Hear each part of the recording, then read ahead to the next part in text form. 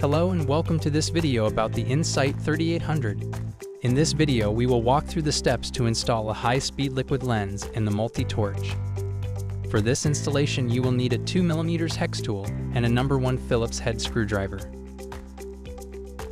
Before changing accessories on the In-Sight 3800, ensure that the device has been powered down and disconnected from the power source. You will also need to remove any other accessories from the camera. Begin by installing the illumination PCB which will be included in the multi-torch kit. Assemble in this orientation with the connection pads facing upward. Gently press down to secure the PCB in place. Next you will need to choose a compatible lens for the camera. Your Cognex account sales engineer will have the best advice on compatible high-speed liquid lenses. To begin the installation of the high-speed liquid lens, carefully place the lens on the camera. Align the two screws with the two holes on the camera and the 5-pin connector on the right side of the camera. Gently press down on the 5-pin connector to install. Locate the two screws on the lens used for mounting the lens to the camera.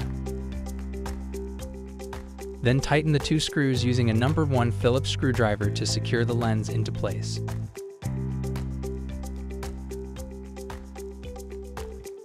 Next place the rubber gasket on the camera that will seal the light to the body of the camera. With the rubber gasket in place, we will now install the mounting plate for the light module. Align the four screw holes and ensure that the pins of the mounting plate are on the left side of the device. Tighten the four screws with a 2mm hex tool in the cross pattern as indicated on the mounting plate. Ensure all four screws are completely tightened before moving on.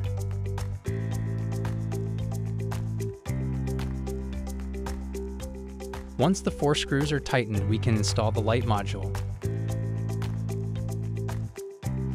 On the back of the light module, you will need to align the 8 connection pads with the 8 pins on the left side of the mounting plate.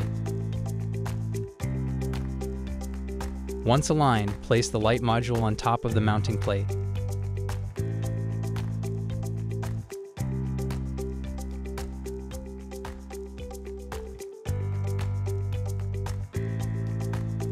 To secure the light to the mounting plate, we will turn the device over.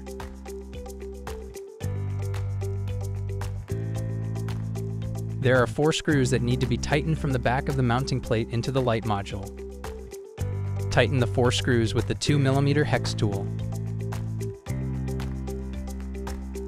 Now that the screws are tightened, the installation of the high-speed liquid lens and multi-torch is complete.